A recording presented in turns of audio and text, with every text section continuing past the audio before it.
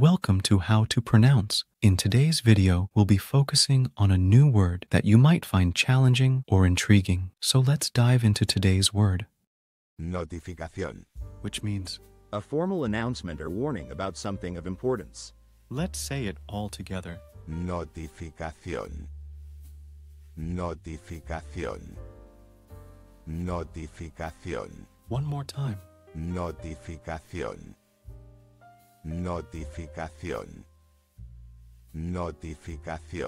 Thank you for joining us on this adventure in pronunciation. Remember, language is a journey, not a destination. Keep exploring, experimenting, and expanding your linguistic horizons. We'll see you next time.